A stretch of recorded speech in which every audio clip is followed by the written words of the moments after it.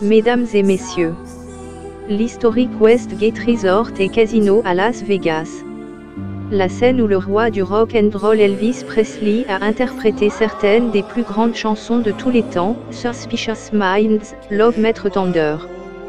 Fièrement présente la reine du jazz Angelina Jordan. Angelina se produira un soir seulement. Deux spectacles événements. Entre 19h et 21h30 le 29 février. Après des années de travail acharné et de performances dans le monde entier, se produire pour des rois, des présidents et d'autres dignitaires. Et spectacle à guichet fermé après spectacle, nous avons Angelina Jordan pour une nuit. Les billets sont disponibles auprès de Ticketmaster ou d'Angelina Jordan official.com.